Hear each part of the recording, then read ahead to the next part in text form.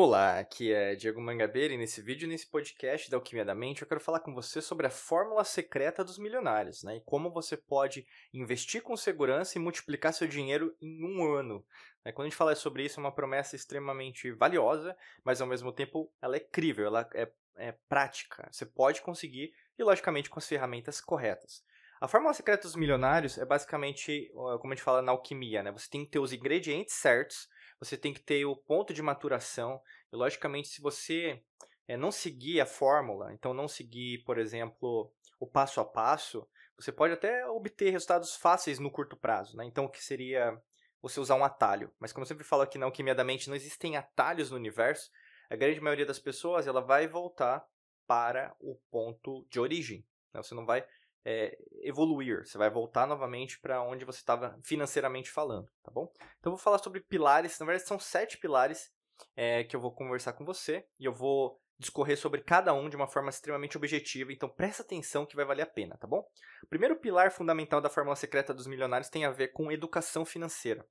É, inclusive, educação financeira, né, eu fiquei bastante feliz que várias escolas né, no mundo, até mesmo tem é, homeschooling, né, que estão sendo feitas basicamente para educação financeira. Então, você educar seus filhos, né, suas filhas, para entender o poder do dinheiro, as finanças, investimentos, é, isso é muito, muito valioso, né, se a gente pensar. Porque como a gente tem, é, até mesmo culturalmente, socialmente, religiosamente, até mesmo politicamente, por causa de partido político, a gente tem uma, uma série de é, erros, né? Então, em relação à interpretação do que é dinheiro, o que não é, é, e essas crenças limitantes ficam enraizadas, quanto mais você se educa financeiramente, mais você se torna é, uma pessoa sustentável e manter esses investimentos no longo prazo. O objetivo nosso da Alquimia da Mente sempre é aquilo, é a temporalidade, ou seja, você conseguir sustentar isso por o máximo de tempo possível, né, e até para seus filhos, futuras gerações, né.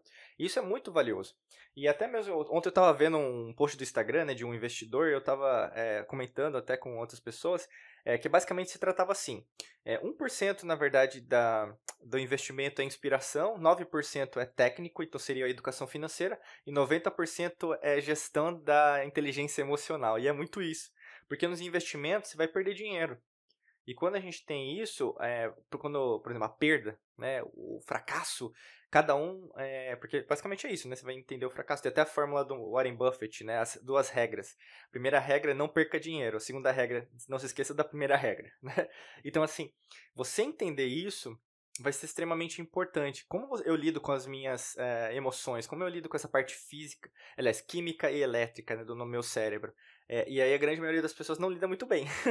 Por isso que a educação financeira pode te ajudar. Então, ler livros, cursos, mentorias, ver vários vídeos, podcasts como esse da Alquimia da Mente para te ajudar nesse aspecto em relação a você entender né, como que funciona, como que seria o ideal e assim por diante. Né? O segundo pilar fundamental dessa fórmula secreta dos milionários tem a ver com planejamento financeiro sólido. Então pensa curto, médio e longo prazo. O que é curto prazo? É um ano, né? menos de um ano. Médio, de um a três. Longo prazo, né? de três para cima. É, e aí, no caso, é ter um orçamento. Você ter um software, ter uma planilha de gastos, você ter um aplicativo e assim por diante. Hoje, meu amigo, minha amiga, o que tem de aplicativo, né? Se eu pegar meu celular aqui, colocar aplicativos de financeiro, né? Vai ter um monte. Então, assim, o que, que na verdade tem de aplicativos que eu quero usar, que eu possa controlar, saber onde estou gastando, o que não está, né? E, e, fora isso, construir uma reserva de emergência.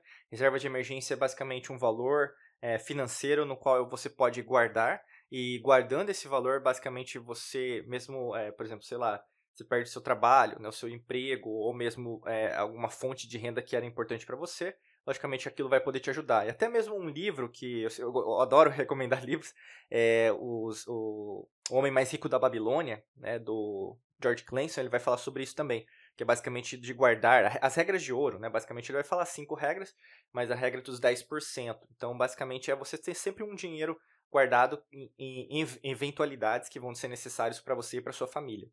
O terceiro aspecto, o terceiro pilar tem a ver com investimento consistente. Investimento consistente é isso, é consistente. Então, é basicamente é, começa a investir o quanto antes, mesmo que seja pouco.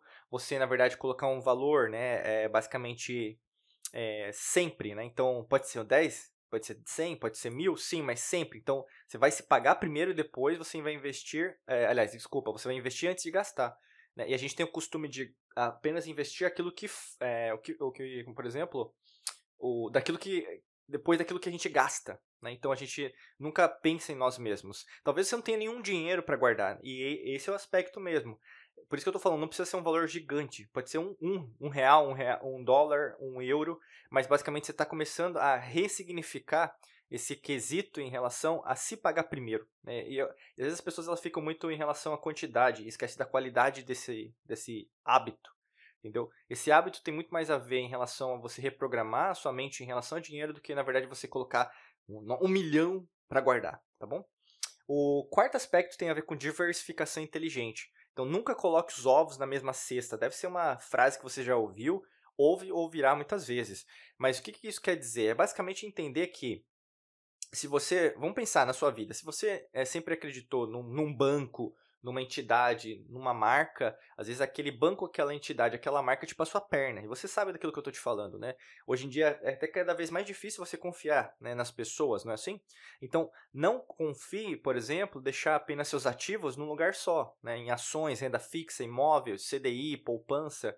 É, tesouro é, Selic e assim por diante é, estuda, né? Então, é, o primeiro aspecto é educação financeira, mas comece a diversificar. Então, por exemplo, renda fixa de ações é diferente. Ah, Diego, eu não quero investir em ações, então não é o seu perfil. Né? Tem perfis, é, é perfil agressivo, arrojado, moderado, tem uma pessoa mais conservadora. Então, cada um tem um jeito diferente de gastar. Procure mais sobre isso, mas nunca é, tenha um investimento único. Então, diversifique, né? minimize seus riscos e maximize seus resultados, suas chances de retorno. Você vai perder dinheiro? Sim. Aí, por isso que eu estou te falando. É, investimento é basicamente você lidar com as suas emoções, porque é, é volátil. A gente não sabe o dia de amanhã em relação a governos, em relação a economias ou mesmo em relação ao ambiente de negócios ou de ações, né? Pode ter uma bolha imobiliária, pode ter um, uma taxação, né? Mas ao mesmo tempo, pessoas que têm mais controle sobre isso, elas têm mais sucesso no longo prazo. Isso tem a ver com a alquimia da mente, tem tudo a ver prosperidade, né? Quinto aspecto, aí volta naquilo que a gente está falando, controle emocional e disciplina. Mantenha o foco nos seus objetivos, apesar dos os ruídos, dos burburinhos. Né? Então foca no longo prazo, não toma é, decisões precipitadas, impulsivas. Não é porque que todo mundo está fazendo que isso é bom para você.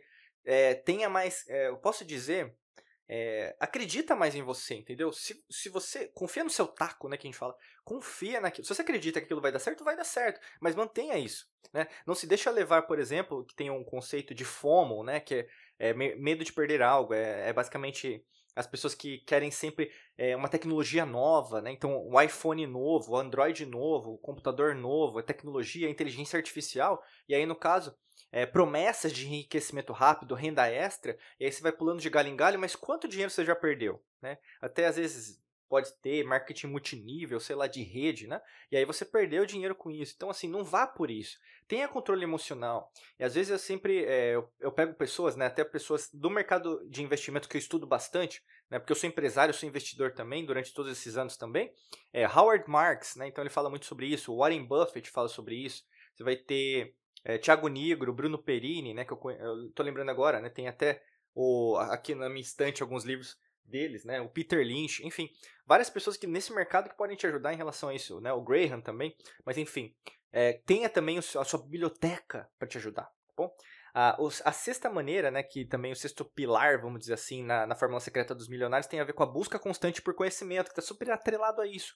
É livro, é curso, é treinamento, é seminário, é workshop, é, é, por exemplo, procurar especialistas, o que, que eles estão fazendo, seguir as redes deles sociais, o que, que eles estão falando, e ver que, na verdade, se você está buscando os profissionais certos, ou mesmo esses nomes que eu falei, eles vão falar para você de ter paciência, é tudo uma construção de longo prazo, diversifique, é, aprenda, é, não seja arrogante, né? E principalmente lide com a ganância, né? Porque as pessoas têm costume o quê? De focar no dinheiro esquecer, na verdade, na construção de patrimônio. Se você só procura o dinheiro, como investidor, você vai é, cair com os olhos d'água, então você vai perder muito dinheiro.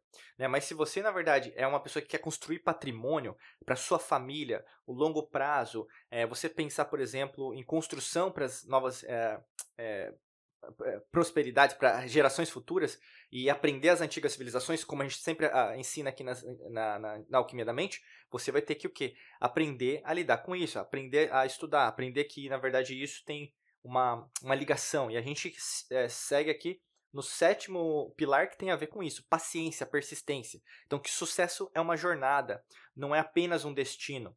Né? Então, todos os dias você vai ter resultados positivos também com isso, porque eu errei, mas eu aprendi, eu não estou fazendo mais. Olha, na verdade, olha que isso, depois de um ano que você aprendeu lá atrás, olha como que você chegou. Paciência, persistência pode te ajudar, porque os resultados, né, até o, as pessoas elas têm costume de achar o day trade, né, que basicamente de um dia para o outro você vai conseguir ótimos, enormes resultados, que basicamente acontece da noite para o dia, ou mesmo do, do outro dia para o outro dia, ou mesmo até mesmo no mesmo dia você conseguir através de um hedge fund, por exemplo, um, um salto em relação aos outros, bater, né, os índices, indicadores do mercado. Mas o objetivo principal é você aprender sobre isso, você ter, ser paciente. E pessoas que têm dinheiro, pessoas que, têm, que são milionárias, bilionárias, de verdade, não pessoas que se dizem, elas são extremamente humildes. Humildade não é pobreza, humildade é estado de espírito. Né? Existem pessoas humildes que moram na favela, existem pessoas arrogantes que moram na favela. Existem pessoas humildes que moram na Alphaville, existem pessoas arrogantes no Alphaville. O que eu quero dizer? Tudo se trata basicamente da forma mental que você lida com isso. Por ser isso, eu quero indicar para você o nosso livro, Alquimia da Mente. Para saber mais sobre como você pode adquirir, clica no primeiro link da descrição que tem todos os detalhes para você adquirir hoje é, o nosso livro exclusivo que está com frete grátis para o território nacional do Brasil e para o exterior. Basicamente, a gente está é, possibilitando agora, nesse, nesse momento. A gente vai daqui a pouquinho possibilitar o exemplar, mas o livro é digital, tá bom? Desejo para você um excelente dia de muita luz e prosperidade. Forte abraço para você e nos vemos em mais vídeos e podcasts por aqui. Um abraço.